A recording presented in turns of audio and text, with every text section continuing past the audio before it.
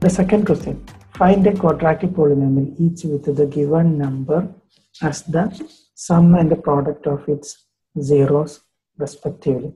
Respectively means you want to follow the order of sum in the first, then the product.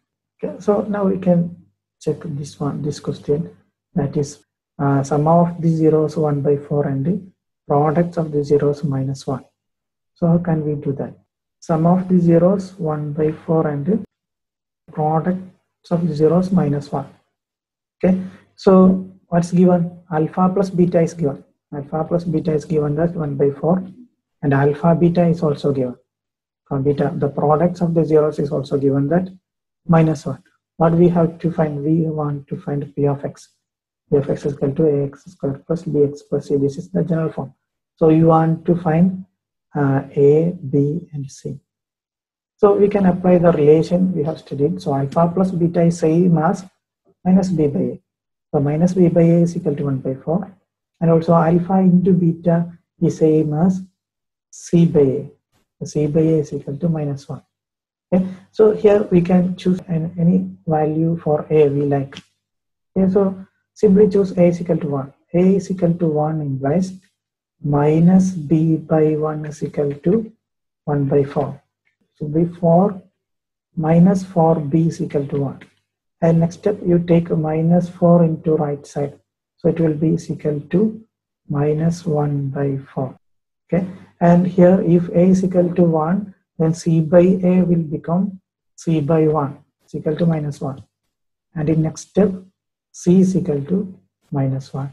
So if you choose a as 1 the value of b will be minus 1 by 4 value of c will be minus 1 so the polynomial will be ax square is 1x square that is simply x square.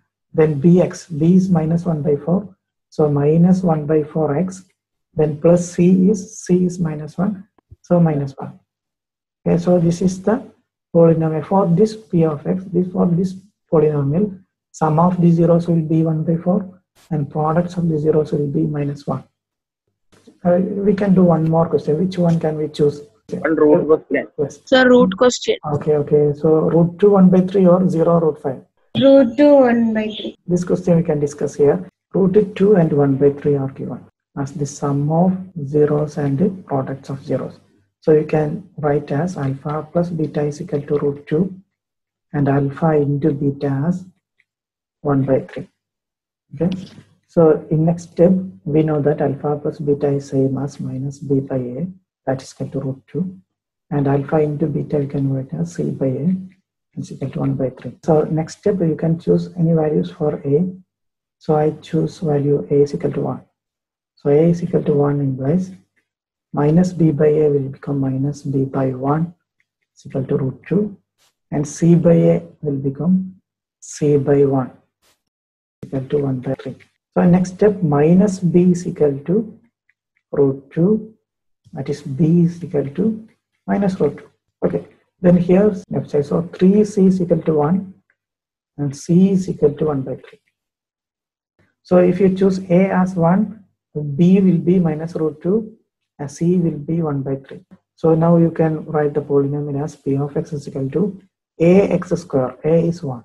So 1x square is x square then plus bx so b is minus root 2 so minus root 2x then plus c. C is 1 by 3 so plus 1 by 3 okay.